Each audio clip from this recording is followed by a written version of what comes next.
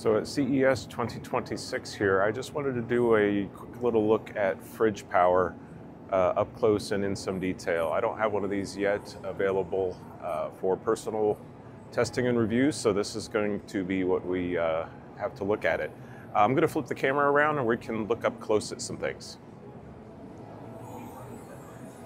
So FridgePower itself is an 1800 watt inverter, 2 kilowatt hour system. It is, uh, in my impression, basically uh, based on the Elite 100. It has uh, very similar specs. It has a 1000 watt PV input, FridgePower. Yes, it does have PV. It has a 1000 watt, uh, 12 volt, six, I'm sorry, 60 volt, 20 amp, 1000 watt input. Uh, it has two outlets on the back, 1800 uh, watts total. It does have DC in. Uh, it is it has a two kilowatt hour battery instead of the one kilowatt hour battery of the uh, Elite 100. So this is uh, two two kilowatt hours in here, uh, and they're showing it with an expansion battery.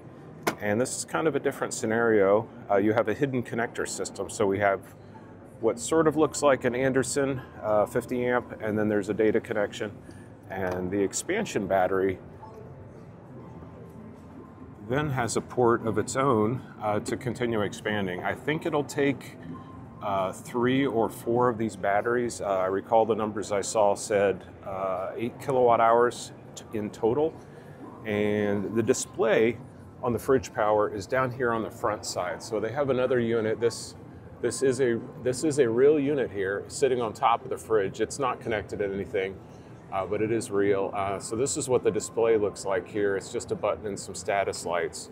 So what they've done with FridgePower is they've created a separate uh, Bluetooth magnetic display that you can see uh, the room temperature, room humidity. Yes, it's very dry in Vegas.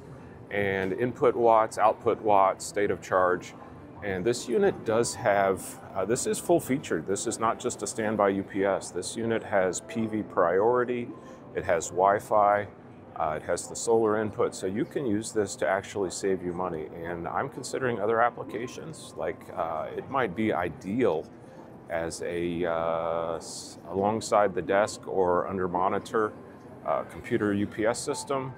Uh, obviously the 1800 watt PV input on it there, let me flip the camera around again. Obviously, the 1800 watt PV uh, inverter input on it is uh, more than enough for a fridge. You could probably, you know, run your coffee maker at the same time in an outage. Yeah, it's interesting.